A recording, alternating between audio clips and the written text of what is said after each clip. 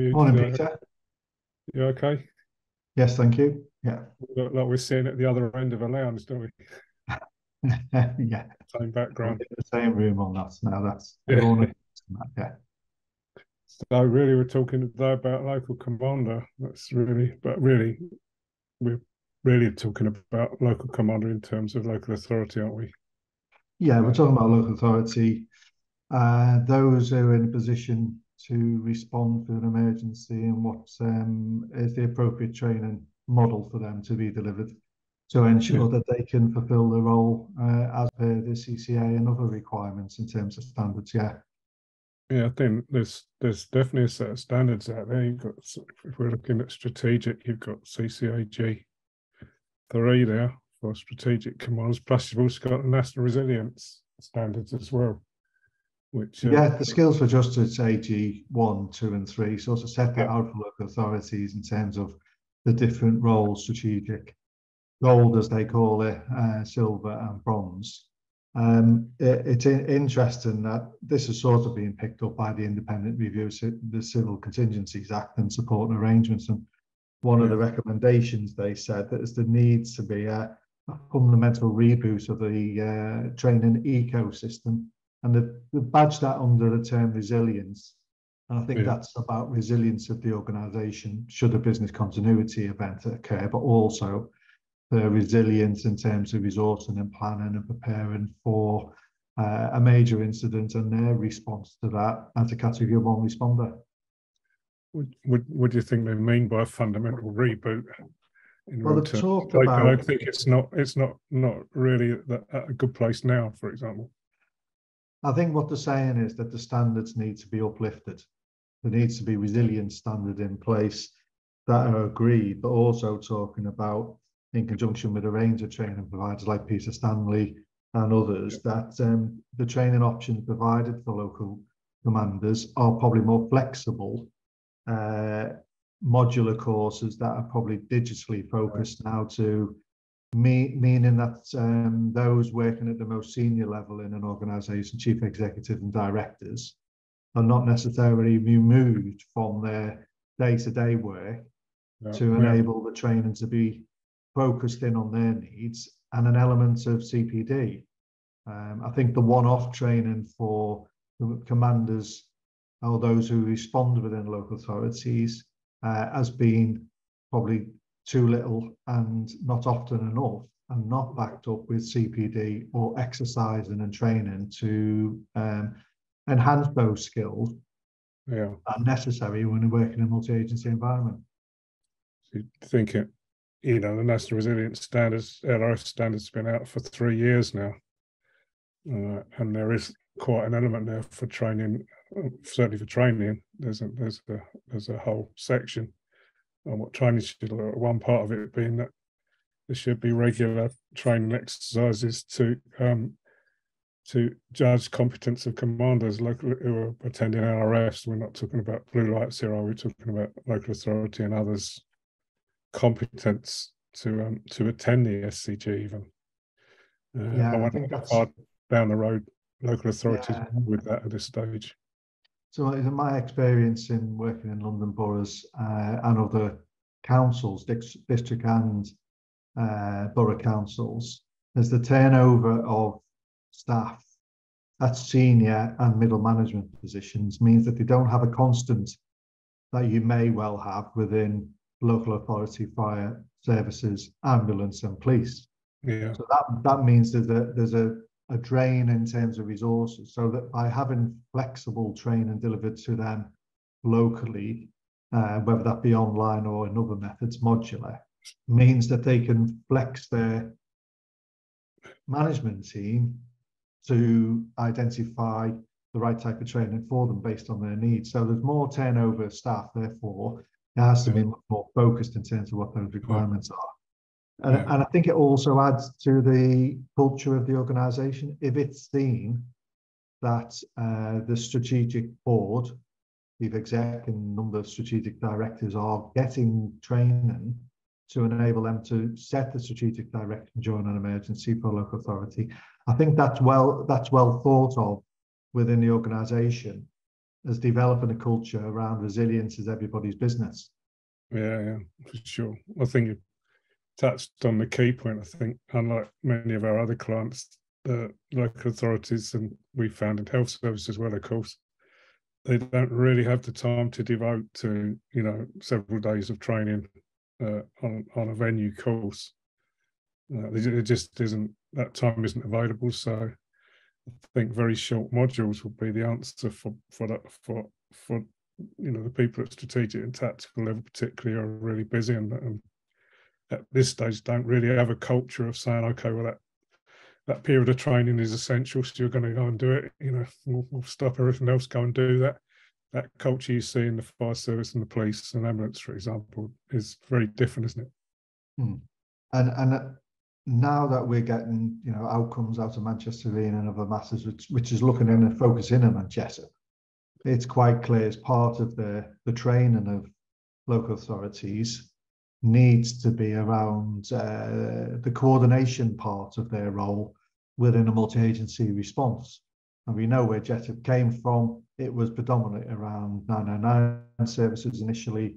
And when it became the principal, then it moved into that arena of local authorities getting involved. But mostly that was uh, a little bit of a touch into that JESIP arena rather than the, the fundamentals of how it works and how you make decisions, for instance, and within their own organisation, how they uh, they manage the, the leadership responsibilities during an emergency or business continuity event, because obviously there's a crossover in terms of structural command and control and coordination within a single agency as well as being within a multi-agency response. Yeah. Mean, put your hand on your, you've obviously worked with local authorities quite a bit, and especially at strategic level. Uh, where would you put on a scale of one to 10 their understanding across their organisation of JESIP, for example? Well, the recent training I've done, even at a, a significant uh, strategic level and a, a bronze level, so gold and bronze, I'd say they're around about two or three out of 10. Really? That low? But, yeah. And, and on top of that, and there's always been in, in, in my mind, the culture is that response is delivered by those who deliver emergency planning. Yeah, yeah. And we know there's been a shift, certainly within London and probably nationally, to more of a tactical yeah. advisor that's called resilience advisor, yeah. who's not taking command of an incident. And the same is happening within local authorities. So there's a shift there for responsibility. And generally, in my view, when I've looked and I've done reviews of emergency planning arrangements in local authorities, there's a willingness to get involved. There's generally a, uh, a senior level understanding at maybe chief executive who's almost directly supported by an emergency planning officer or team. What you've got in the middle of that are gold and silver who've had limited training, and in in my ex- experience, it may be as little as two hours training, yeah. and then on a cohort uh, in which to make decisions on behalf of that authority. Yeah. So therefore, their confidence is low. Now, what you get from the training provision is a way of building people's confidence around key issues about raising understanding of what situational awareness actually means of how decisions are made in a single agency or a multi-agency environment and how to assess those decisions in terms of using things like from JESIP, the models in JESIP, like the joint decision controls, to focus in on uh, what's necessary to uh, to make that decision and what happens after you make a decision. Yeah, I think he, if if you, if you kind of look at it now, if it's a two or three, you've got to sort of question how much of a contribution that people can make to SCG and TCG if they're not trained and don't understand it, and they're at a level two. So it's easy to see why emergency services tend to drive these things. But of course, I think there's going to be a day when a, a strategic uh, commander from a from a local authority is going to be invited to chair or to yes. lead and when that happens, um, that could be difficult if they haven't had the right training and accreditation. So everybody who sits around the room, certainly blue light wise, will have a strategic command qualification. Uh, a, big part of that will have been around JESIP, around emergency preparedness, and so on. So they're then trying to you, they, you have a, a, risk of a situation where a local authority chair will, or will lead with none of that um, training, none of that accreditation. Uh, so I think that's uh, that is a risk. That's the first risk. Second risk, of course, is they are asked to make strategic decisions in an in an environment, uh, you know, a uh, a rapid a rapid environment without again practicing or assess, uh, uh, exercising or being assessed as being competent to do that. I think those things are a major risk to local authorities at this stage, especially after Manchester Arena. Um, the next big inquiry will inevitably concentrate on JESIP. And uh, if it's, you know, fortunately, I think for Manchester Arena, the local authority weren't central to that, mm. um, to the issues, that, or some of the, or most of the big issues at Manchester Arena but that's going to happen. Yeah. That day is going to come when the local authorities plumb in the centre of what is actually happening. And uh, for it, I think Westminster Council's response to Grenfell is an example. You know, uh, that, that yeah. response uh, less and than also transfers Peter, I think, into the recovery side, which is quite clear, is the leadership yeah, exactly. responsibility for that. As recovery is the local authority. So chief exec expected to, without any understanding of multi-agency partnership arrangements, yeah. if the principles of response and recovery are the same and using the same JESIP principles, agendas and formats and tools to do that with the recovery plan, driving the, the recovery strategy in the early stages should be down to local authority to enable them to do that. Um, so the principle would be the same in terms of that. Uh, it's it's interesting the independent review of the Civil Contingencies Act that, that suggested that um, um, there becomes a national register of uh, recognised trainers and subject matter experts to support training. Uh, so demonstrating both that materials are up to date, so there's a consistency across the UK yeah. in terms of what's being delivered.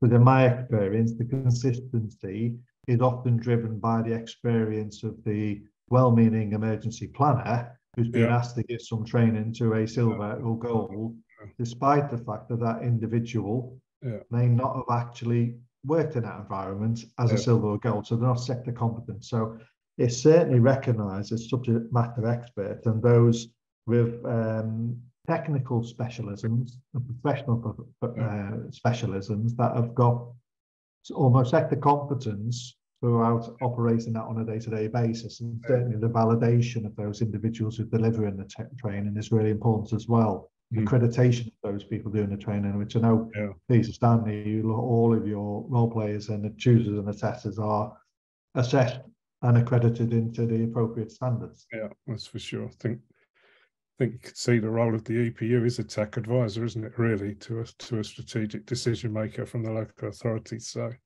you would expect that strategic decision maker to have, to have undertaken a competency assessment, undertaken the right level of training to be able to take that EPU advice and uh, translate that into a strategic decision of some sort that, uh, yeah. during during an SCG, for example, or a TCG. So, you know, kind of uh, devolving the uh, responsibility to the EPU is like asking a tech advisor to to run a, an SCG Yes, I mean, we, we know from instances such as uh, you know Manchester Arena in terms of the the the, inquiry sort of delved into the role of a tactical advisor and a national incident liaison officer.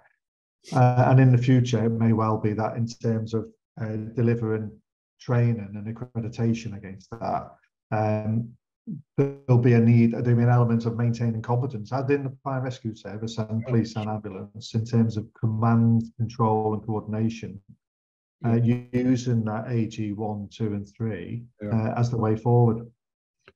Uh, yeah, as a as a trainer, uh, you, you can't really um, your competence can't really be defined by time. So you can't say, well, we've only got an hour to do this training, so I'll put a PowerPoint slide up and then we'll write off that everyone's competent. That yeah. competence is, isn't like that. Competence takes time uh, and it takes assessment against standards. It takes simulation that that is effective for people so they understand their role. You can't really do it mm. in half an hour you know, or someone turning up from the EP and putting a couple of slides up and then deeming that competence. It's a start. Don't get me wrong. Anything's a start in terms of a, a training program, but it needs to be much more structured than that, doesn't it? Really, it needs to But There needs to be accredited training programs against the CCAG standards, all three of them. And, well, it's that uh, integrated emergency management process, isn't it? All the way yeah, from identifying what the risks are, and yeah. you know, developing a training strategy based on that, getting through exercise. I see we've got, a, I think we've got a, a question on the chat, uh, Peter. Uh, how will you determine competence given that courses like magic are not competence based? Uh, yes, an interesting question because our magic course is competence based. so, of course, if you know, if you look at magic, magic is not an accreditation. It's not an accredited accreditation. The, the College of Police and or, or the, the Fire Service College, two two principal players involved in that, are not awarding bodies. Mm. So the only way you could get an accredited magic course is via an awarding body, such as Skills for Justice, for example, would be one. So uh, magic, the magic course that is is delivered at the moment uh, to to strategic commanders, particularly, is experiential. It's not competence based at all. The one that we deliver is it's based against a set of written competence standards and attracts a CPD certificate following CPD approval of our course. So uh, that's one way of determining competence. I think yeah, there's nothing. Get me wrong. I'm not. I'm not. I'm not knocking mm. the magic courses because they obviously got a tremendous value to people, but um, they're not competence based in terms of written competencies. There are competencies, and it does suggest that they they are based on CCAG standards, and there are quite a number.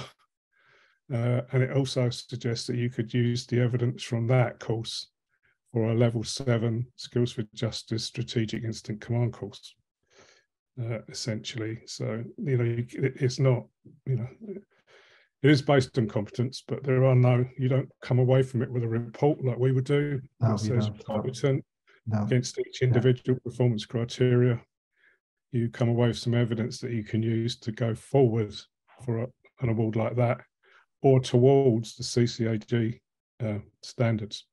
Mm. I, I undertook the magic course a number of years ago, and I don't think it's fundamentally changed because the standard AG standard hasn't changed in terms of that. No. And it's more of an attendance course rather than a, uh, which yeah. Yeah. interestingly yeah. within the police is probably an attendance under the requirement to become a strategic commander. Within yeah. the fire and rescue services, certainly less so.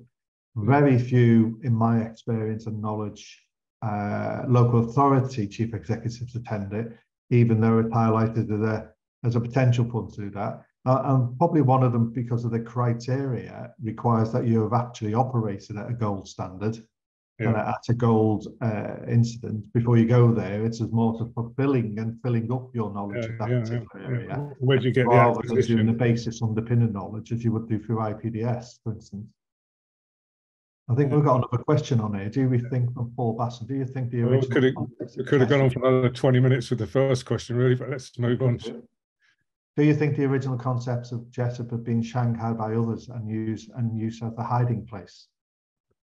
Um, hard to say what what Paul's what's Paul's aiming at with that question. What do they mean? What does he mean by Shanghai? Can you can you elaborate a bit, Paul? Uh, I don't think anyone. In terms of original concepts of JESIP haven't changed fundamentally. No, well, came yeah. yeah. Uh, so there's consistency there. JESIP was, you know, uh, well scrutinised, I would say, uh, in the Manchester Arena inquiry. Yeah. Uh, uh, looking at the different angles and in the in the inquiry chair's view, um, it may well have made a recommendation to say that JESIP needed to be changed fundamentally. It didn't say that. It said it needs to be more embedded. And there was some progress program uh, progress being made in terms of uh, some changes to JESIP, and there's further reviews of that ongoing, which will probably be informed by the National Resilience Framework and other aspects which just talk national Resilience framework and the government does talk about JESIP and its use there. So I think the concepts have been developed rather than Shanghai by us. They've been de- developed by time and also by learning that comes through the National Operating Learning Program and the Joint Operational Learning uh, learning program in terms of uh, outcomes from incidents and exercises to inform. Yeah, I think it's it, it, it's it's listed as guidance under the CCA, so no one's really shanghaiing it. I don't think.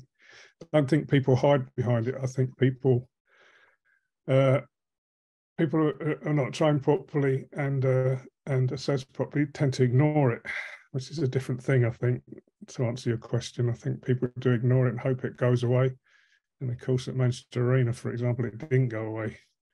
Um, and uh, I think that's the principle. So I think those those that work with it, it hasn't really fundamentally changed in a number of years. Recent upgrade in December, but is, that wasn't really significant upgrade there.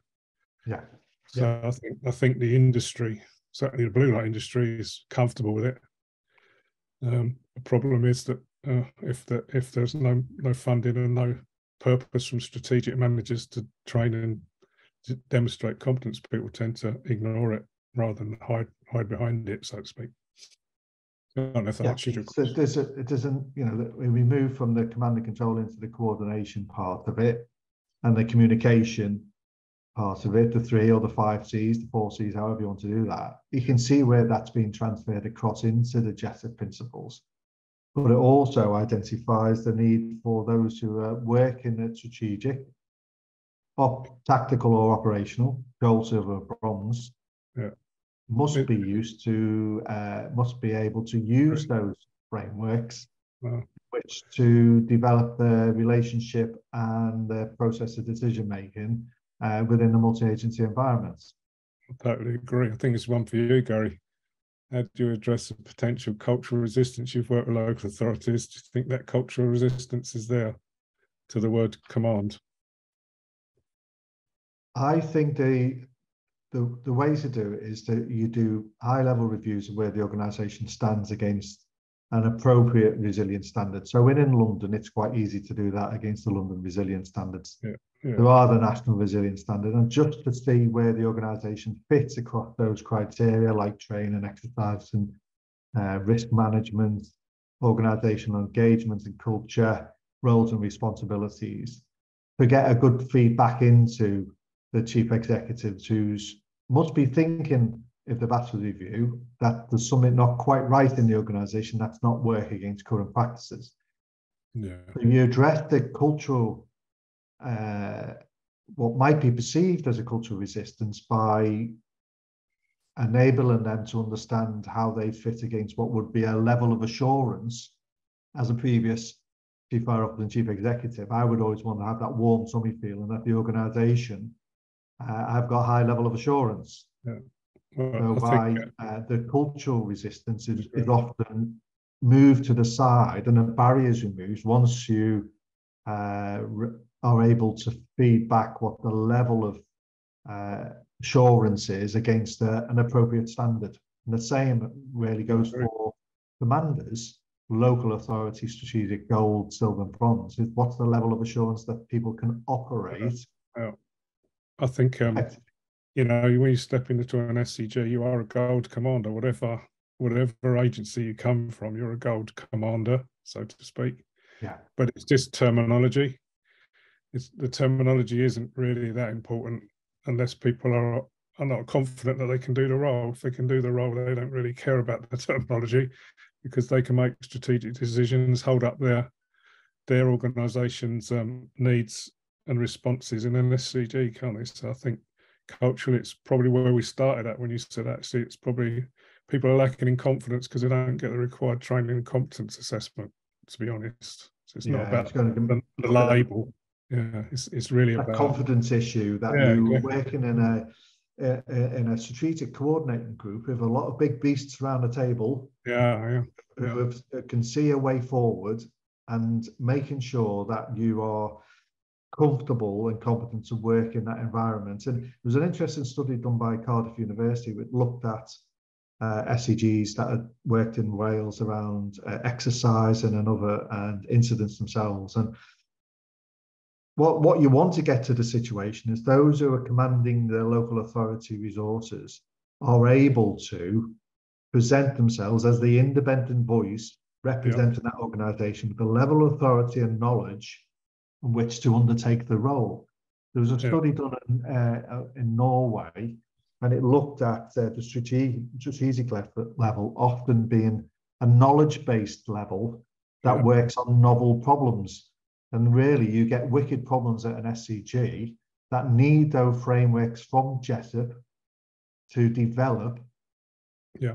understanding of how to work in that environment.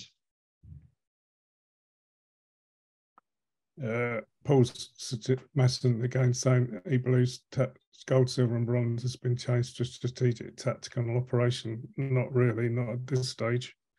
The people who operate in SCG are gold commanders. People who operate in TCG are uh, uh, tactical commanders, silver commanders.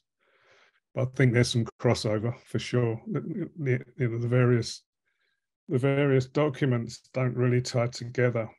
So essentially, you are in strategic command when you're an SCG of your own organisation anyway, let's put it that way. I think there's a need for strategic commanders to be confident in local authority in other places. If you look at, for example, our when we do simulations that require a massive evacuation, the the local authority becomes centre stage. And all of the problems that that will give a local authority need to be taken care of by the strategic commander before they give the nod in consensus that they're going to do it. So yes. if they're not confident and they're not trained and they're not competent, the chances are that that um, decision will be um, railroaded through by the blue lights and suddenly present the local authority with an enormous problem.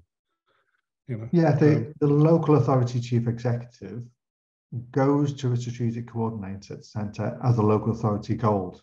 Yeah.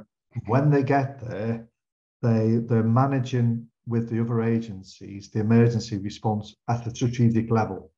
Yeah. So the two inter, interact with each other. So you wouldn't send a, a local authority silver to an SCG yeah. because they're not operating at a gold level. That's a strategic level, and so they're not gold. Yeah. And, and that's that's where the uh, for Justice AG1 talked about responding to emergencies at the strategic level in brackets gold. So you're a gold commander or gold officer or fire gold, local authority gold, working with other agencies at the strategic level. So there's a there's an interaction uh, between between those two terminologies that Paul has raised in the question. Yeah, I, don't. I think point is not to get hung up on labels.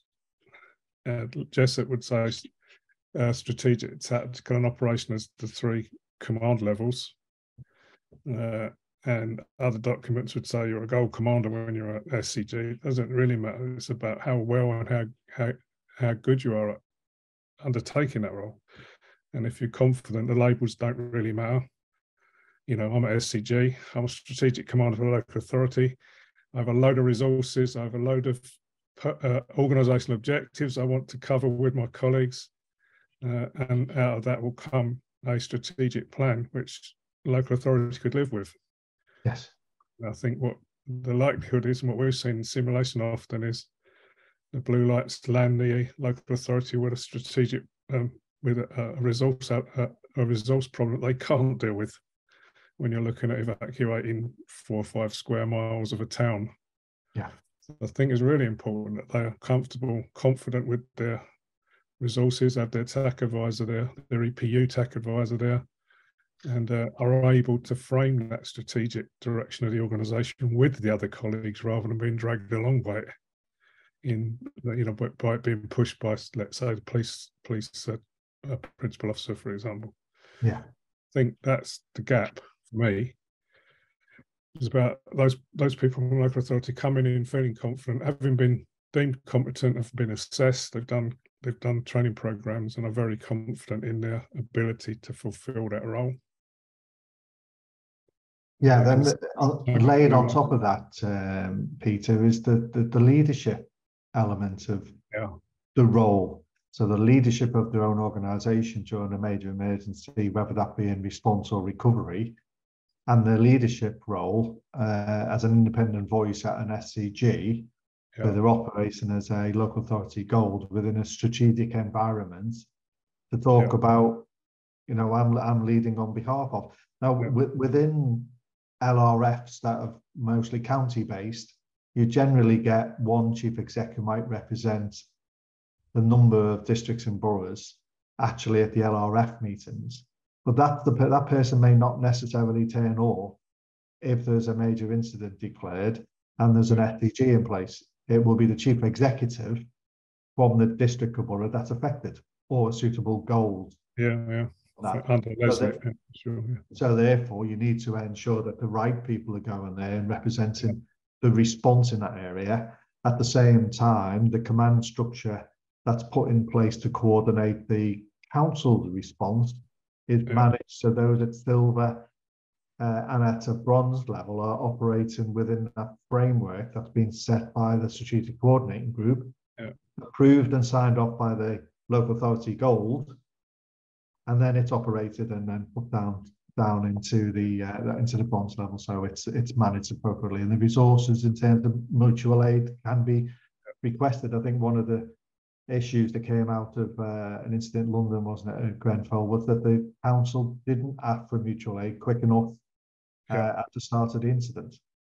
Well, I think that's um, a strategic decision that's made. Uh, yeah, I think in terms of leadership, we could do another one of these on those because I, I really think there is a real requirement for strategic um, local authority leaders to be leaders because they're leading a community response it's easy it's a lot less complicated for a fire gold commander to lead a fire response in one organization than to actually lead a whole community like reacting to Grenfell. And I think if you look at the at the reports from Grenfell, the local authority authority were a little bit lacking in leadership in key times for the mm. community. And it's still going on now. You know, if that if there'd been leadership there at that time, uh, possibly a different type of leadership might not have had the community problems they've had since. Yeah. I think there's another question. Just, yeah. yeah, there's another question just come in, uh, Peter, that may be appropriate for you to answer. Are your trainers from local authority leads from a, a, local authority background? Of course, I can speak on the basis of from a, a local authority fire fire service. Uh, and I've worked in emergency planning across London. But uh, in terms of the trainers for that, a number of our, your trainers do have that background. Uh, most of our trainers have a background in emergency service. Uh, for, but most, a, a, lot of the senior trainers, as you know from you're obviously uh, head of the senior group, Gary, have had a lot of experience of working in local authority in, in their role as chief officer, for example. Yeah, and they've also worked within a local resilience forum, exactly, yeah, yeah. in which Almost local authorities and the transfer and relationships are built up in that area. So so, for instance, myself, I've, I've, you know worked through COVID in a London borough at the start, setting up their processes and procedures, and advised on other areas around local authority. So there's a big understanding of uh, what yeah. actually how a local authority operates. Yeah. Um, a number of people have worked in that environment. Yes. Yeah, yeah. Most people, most of our trainers have worked at LRF level at some time or other. I don't know if that answered the question. We're probably over time now as well, I think.